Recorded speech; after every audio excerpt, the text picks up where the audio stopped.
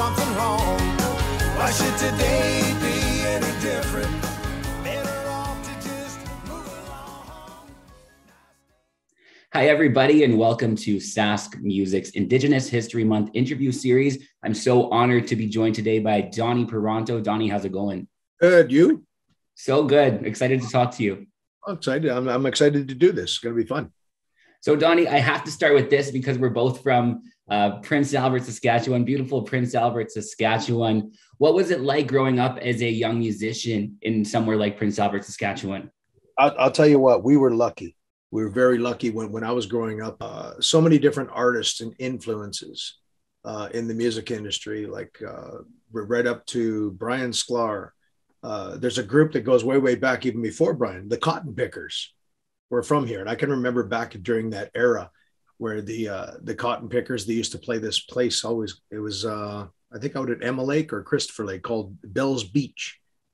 And uh, they, they played there all the time and, and they were famous. Like usually back, I can remember when I was a kid, when you had an album and all of a sudden and those those those records and you had that and you'd look at the picture on there automatically you think that person's famous that that that person's famous you know and then when you'd see them and just just realize they're regular people you know and that but that was my attitude ever since i started really you know growing up and listening to music and learning fiddle at the age of 14 and uh, i go far back where uh, it wasn't cassette tapes folks it was eight track tapes. Learn a fiddle tune on an eight track tape. Try that one out. Let, me, let me see how determined you be if you would really want to learn a fiddle tune on an eight track tape. There you go. But awesome. back I go. And but I love it. And I was just very fortunate, you guys, uh, for having people like Brian Sklar, uh, Freddie Pelche, Rod Jansen, who who I grew up around here playing with, Randall Curry. Uh, you know, just there's so many musicians that were from this small little town, small little city, just just in, in that that genre of music. To uh, your grandpa, LJ, you know was what was a huge part of it but i can remember all of them back in the day when we'd always i was that young kid going to the country north show and going to watch and i couldn't wait for that opportunity. Man i want to get up there and play. I want to be able to do that someday. And then when my day came and it was great. It was great. And just you know and now it's nice and i see younger people like yourself getting out there and getting your name out there a lot more. And kudos. Just uh, i encourage everybody go live your dream man. It's uh music industries to me is not a competition.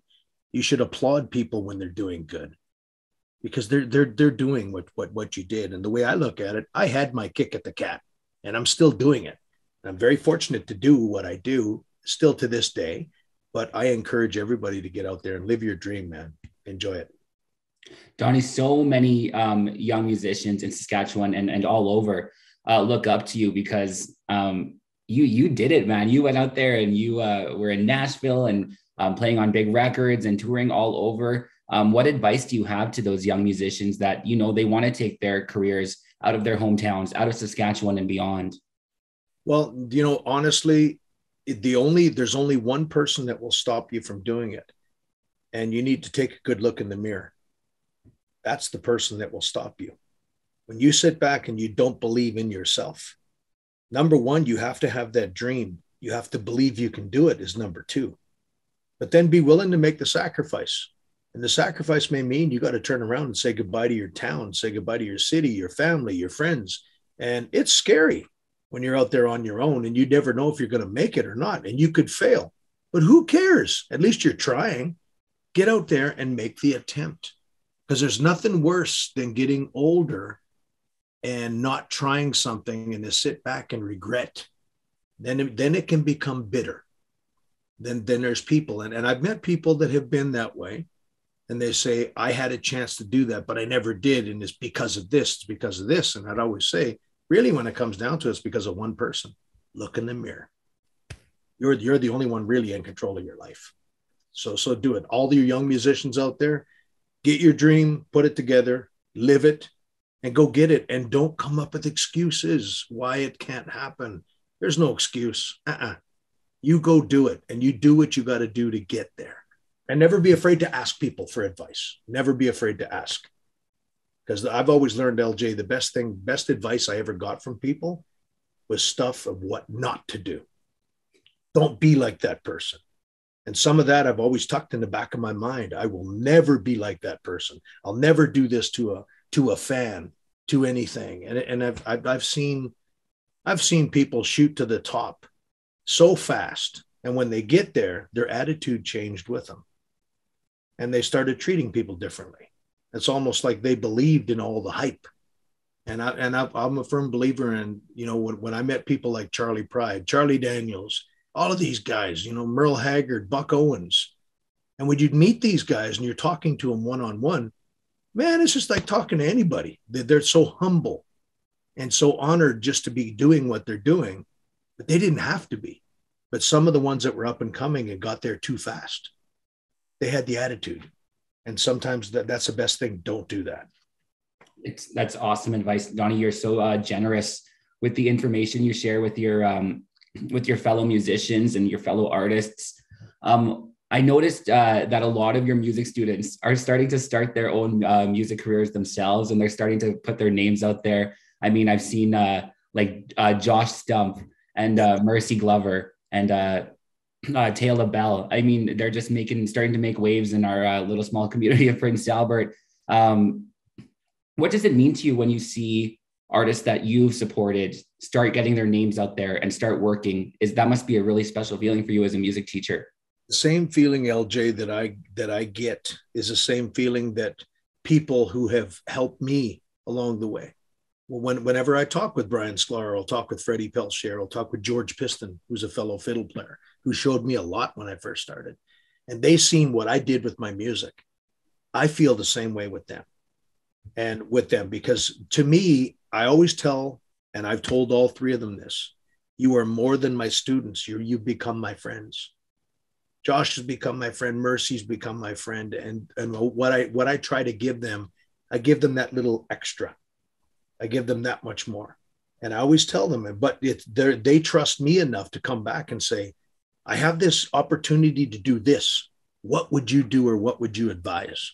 And I'll tell them and I'll be honest be careful of this, do this, do this. Yeah, that, that that's a great thing.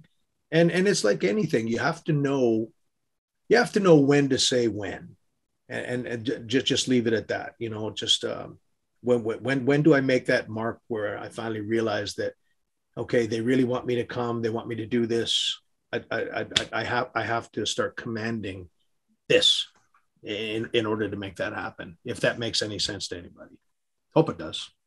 No, it, that makes complete sense. I mean, um, I, I, think there's such an, a thing as uh, oversaturation, especially in small uh, in small competitive music markets. I mean, there is such a thing as uh, maybe accepting one too many things. I completely agree. Yeah, the, the, the, I think back in the day there was a, a, fun little word we learned as musicians. It's called exposure. We used to always get told that when we first started. And Like anybody, when you're up and coming, and well, come on over. You know, they, they'd always they'd always invite you to come over and you know all the up and comers that are coming trust me if you haven't done it yet you're going to gain a lot of friends the better you get at your craft and the next thing you know if you start getting those phone calls that say hey what are you doing this saturday come on over to the house we're having a get together but don't forget your guitar then i always turned around and i would tell them a little piece of advice back and say i'll bring my car. I need you to check the carburetor for me. Well i come do that then? Or find out what they do for a living and just put them on the spot and bring it there. Because a lot of people they they realize they kind of think this is, turns into just a hobby. And it's just for fun that you do that. And they, I, I don't think a lot of people realize that when you really get serious at it it is your living it is what you do for a living and, and trust me a mechanic don't want to show up at a house party with his toolbox unless you really want to and I'm sure you'll have a lot of extra friends too if you're a mechanic that wants to do that. awesome. So, uh, like you said, you've been uh, making a living off music for a long time. When was the moment, and what did it feel like in that moment when you kind of thought to yourself, I, have made it. I, am here. I've arrived. This is uh, this is it." Honestly, LJ, I would have to say that when my first show that I went down and I played with Neal McCoy, there, there's two moments that really hit and i just said this is it i know i've done everything i wanted to do that was the first moment because it was my dream to play with an artist from the United States. And my first show that I played in the United States was it was uh gosh, I think it was a, a Tuesday night or a Wednesday night in a bar. But just the, the electricity that was in that room when we played, I did not want to stop playing. What's what what ended up being a two-hour show flew by to me in like two minutes. I was done. And so that that feeling and that emotion that I, I couldn't believe it. It was it my my dream came true. And the second one was the very first time we walked on the Grand Ole Opry stage to play. And Neal stopped the show, and we all stood in the middle. There was a, a piece of wood, it's a circle that they actually took out of the old original Ryman Auditorium. And that piece of wood is where Hank Williams Sr. used to stand, Ray Price, Charley Pride, Buck Owens, Merle Haggard, you name it, all the way back, Ferlin Husky, uh, Hank Snow, uh, so many, Patsy Cline. And as you stand in that circle, Neal stood all of us in that circle. And everyone started taking pictures of us. And we looked up and all I didn't know what to do. But there, there was me and another fellow Canadian, Sean Carson, who I actually started with. We both started playing music together. I was 19, he was 18. And we stood in that circle and we cried. Because it just that's LJ, that's the moment I knew that there's no turning back. There's no turning back. But where do you go from there? So this was the piece of advice my mom gave me. I remember calling my mom that night and I said, Mom, every dream I've ever had in my life come true tonight. Now what do I do? Because my dad had passed the, you know, the year before. And she said, Go out, make up new dreams, and go get them. Don't stop with just one.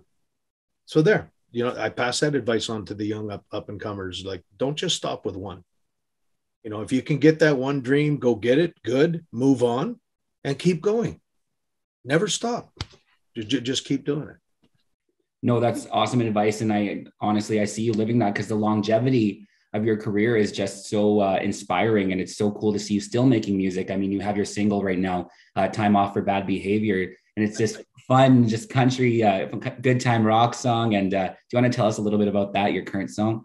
That, that song uh, started because uh, I think it was last year, my, our daughter Juliana, who just turned 13, she got hooked on Motley Crue, and she started watching and, and, and listening to a lot of the '80s style music, which which I absolutely love. For me, it's kind of funny because when I'm when I'm in the truck or driving around listening to music, it's either '70s rock or it's '80s rock. People say, "Don't you listen to country? Don't you listen to fiddle music?" No, that's what I like listening to when I'm driving. So she got adapted to that and learned all of that material. And then she gets hooked on Motley Crue. Then all of a sudden the t-shirts came out. And my brother-in-law brought back some T-shirts from Edmonton of Ozzy Osbourne, Motley Crue, all of this stuff. So when I seen her wearing that going to school a couple of times, that's where the line came. There was one line in there. Teacher didn't like my T-shirt. Guess they're not a fan of Motley Crue. So, and uh, but but the whole thing was nothing more than a twist on. We, we thought about this this kid in school that gets in trouble, but he doesn't go home. So he, he gets time off for bad behavior. So guess what? I'm going to go out and have the time of my life then. This is what I'm going to do. So that that's where the whole idea come from. But I wrote that with a buddy of mine in uh, in Ontario, Terry Terry Fernal. Oh. Yeah, so Terry and I wrote that together, and he's a fantastic songwriter. Awesome. Yeah, no, it's, it's so good to hear new music. What's next for you, Donny? I have another single coming out. I'm just about to go in and track the uh, the vocal part and uh, playing a lot of live shows. And thank God for that, where we're starting to get out there and play a lot more. And it's so nice. We actually just finished LJ a show in um, uh, Candle Lake. Myself and Marty Grambo and Darlene Toletta. We've always wanted to do this show. It's a classic, kind of a tribute to classic country, but the way we do it and the way the, the music we grew up on. And we put that together, and it's just the, you know, it was almost a sold out crowd in at Candle Lake. And then when we, by the time we were done, we played a two hour show and we kept asking people when they were leaving, was that too long? I said, are you kidding me? That wasn't long enough. We, we, we could have gave them a three hour show and they would have sat through it because it's just, I think what it is, is people starve for that kind of music. They're really starving for that style of music and they love it because it was such an impact when it was out. And to me, and I'll give you another example, that's why, to me, Garth Brooks, when he comes back out and puts on shows, he does so well. On top of him being a fantastic performer and entertainer, but it's his music, the 90s. People want to go back to that because they're, not they're not really digging too much of what's happening today. So they want to go back to that genre, and that's why George Strait will never die. His style of music, and like if anybody says who's the king of country music, it's George Strait. Sorry, Garth Brooks, go away. Eh, it's George Strait, because you, I look at who did Garth learn from? Ask him. He learned from George Strait. So that's who that's who I like going back to. I like listening to those guys and just just figuring it out. And you talk about longevity that guy's been around. He's been around past all of them, you know, and it's just, but that that's that's what it is. Awesome. Yeah, no, I I agree. I wonder if we're gonna get any controversy of uh saying who the king of country music. I'd, I'd, I'd, love somebody put it to the test. Get out there. Let, let's see. But I'll tell you what, when you're doing that, folks, uh, compare the number one hits that uh, a guy like George Strait had with anybody. Put anybody on the market, number one hits. You can put anybody on the market and nobody comes close to George Strait. I've been asking uh, the artists in this interview series, Donny, uh, an, another Indigenous artist that they'd recommend for listeners to uh, to search up and listen to. Who would you pick from uh, Saskatchewan Indigenous artists? There is so many, so many artists, and there's, there's not just one. I can't just pick one. I mean, you of all people, yes, look look yourself up. I mean, you, you know, no, I'm not saying you look yourself up, but anybody listening to me, you need to check out LJ because the thing is, the way he writes, the way he sings, it's a different. It, it, it's a it's it's a sound of his own. You you have a sound of your own, and you have a style of your own, and it's really really cool. And I'm proud of you. I'm very proud of you for what what you've accomplished and how you write and how you present yourself when you're on stage. It's awesome. So but but there's so many. There's so many. Jared Patras out there. He, he he's doing really well. Uh, there's uh, oh man, there's Conrad Big Knife who's still going at it and still doing it. And I remember I remember back in the day when I first uh, they didn't call it Indigenous Award. They called it the Aboriginal Award back at the Saskatchewan Country Music Awards. And Doyle uh, Doyle Arnstand, good friend of mine, he, he was one of the first recipients of that award when it when they first started handing it out and doing this. And that's the thing. And and i found that with that award in particular taking that was one heck of an honor and it was great. But to take it to the next level when you can say uh, to be nominated for a juno award in the aboriginal category at that time as i said it was called aboriginal uh, to be nominated three times in that category. And every time LJ, I'd go there, and I had the opportunity once uh, to speak with the person that started the Junos. And I can remember going to him because there was a big controversy that year that I was nominated, that there wasn't enough uh, traditional indigenous and, and aboriginal music, the, the traditional, like the powwow, uh, the throat singers, the Inuit, there wasn't enough of that. Why are they going after the country artists that are indigenous? And that's that was the thing. So my suggestion to them, even back then, you need to add more awards. I said, why are why is this genre of music only given one? When you have so many different jazz categories, you got folk categories, you have different country music categories you have rock categories that are so many different branched off from there. But then when it comes to the indigenous people who have been here since day one, you're going to nominate them for one? Come on. And I looked at him, and that's exactly what I said, LJ. And, I, and he looked at me and he said, You're right. We really need to reconsider and do something. And I said, I really hope you do. And if you want to reach out, reach out. Well, by God, finally, it took them 12 years, I think, it was the, that conversation that I had to now, where now they finally have two. They have two Indigenous awards now for the uh, Juno Awards, and one is for the traditional, traditional, and one is for the contemporary for today's market, which is good because that's how you get there. You know, another piece of advice I'll give people squeaky wheel always gets the oil. Remember that saying. Because if you don't say nothing and you sit back and keep letting them plow over top of you, voice your opinion, but how you voice your opinion is it also matters. Be delicate how you voice your opinion. Try not to be too aggressive, and that's why with me, When I was younger, I was very, very passionate at what I did. And I knew what I wanted. And sometimes that would come across a little aggressive.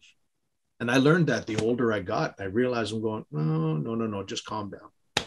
Calm down and relax and think about what you say before you say it. And I think everyone learns that. It's a learning curve, you know, but but I'm very proud of what's happening, especially like in Saskatchewan with the indigenous music. Uh, how many people are coming out and and just get, getting that opportunity to get out there and perform and represent and do it really, really well. And that's what I'm proud of. Proud to see that. Awesome, Donny. Thank you so much. You've been so generous with your time today and uh, so generous with the information you share to to all of us uh, artists in Saskatchewan. And I got to say, just personally, how much I look up to you, and uh, especially also being from Prince Albert, like it, it means a lot to to to see how your career has gone and to kind of you know be able to reach out to you and ask for advice. It means a lot to us artists. So thank you so much. And uh, where can people find you on social medias? Just just look up on Facebook. You know, I'm on Facebook, or look me up on my website is uh, donnyparenteaumusic.com. And uh, or if you're in PA, I'm in the phone book, but my address ain't there. awesome. Thank you so much, Donny. I appreciate it. LJ, thanks, man. Stay tuned. I'm a gone.